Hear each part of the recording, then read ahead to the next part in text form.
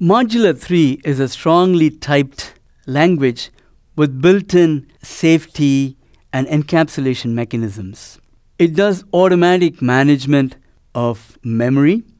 That is, since it does automatic storage management, there are no memory leaks.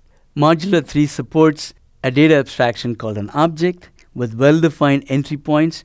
Only the entry points are known outside the object, not the implementation of the code for that entry point or the data structures that are contained within an object.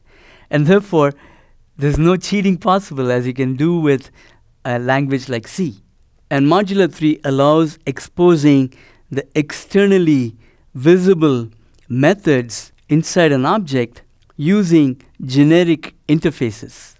It also supports the notion of threads that execute in the context of the object. And it allows raising exceptions, for example, when there is a memory access violation.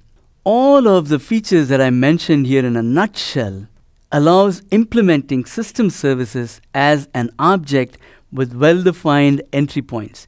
Thus, Modula 3 allows the creation of logical protection domains.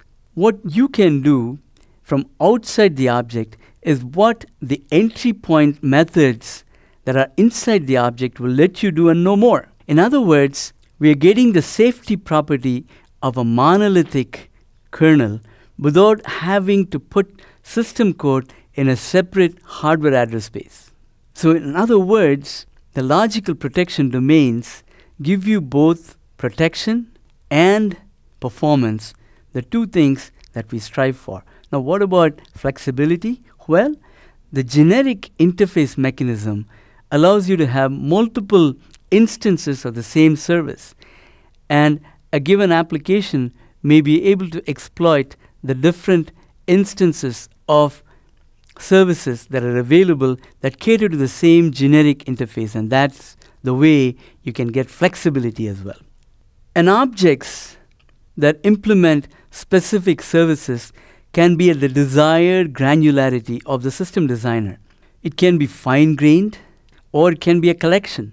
You can think of individual hardware resources as fine grained object, for example, a page frame and what you can do with a particular page frame. You can have interfaces that provide a certain functionality that can be what an object is. For example, a page allocation module can be an object. And you can also make a collection of interfaces into an object. For example, an entire virtual memory subsystem can be an object that is hierarchically composed of page allocation module, and within that, you may have hardware resources defined as objects as well.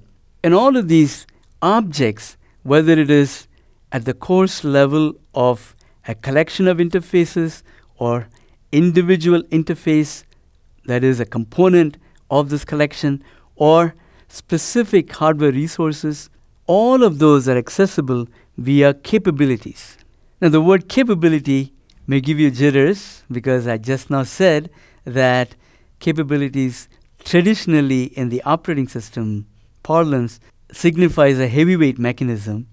But because we are dealing with a strongly typed language, capabilities to objects can be supported as pointers.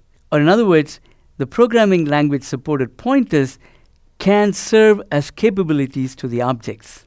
So, now with this idea, access to the resources, that is, entry point functions within an object that is representing a specific resource is provided via capabilities that are simply language supported pointers. And because they are language supported pointers, these capabilities that we're talking about here are much cheaper compared to real capabilities as was used in the Hydra operating system.